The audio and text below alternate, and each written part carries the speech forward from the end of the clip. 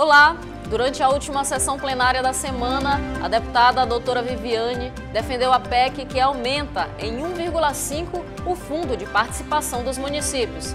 Da tribuna, a deputada falou ainda sobre o projeto de lei que reduz para 8% a alíquota da contribuição previdenciária das cidades. Ainda durante os trabalhos no plenário, o deputado Dr. Iglesio fez um alerta aos jogos online que provocam vício em apostadores. O deputado chamou atenção ainda para casos suspeitos de fraudes exatamente em apostas online e cobrou fiscalização dos órgãos competentes.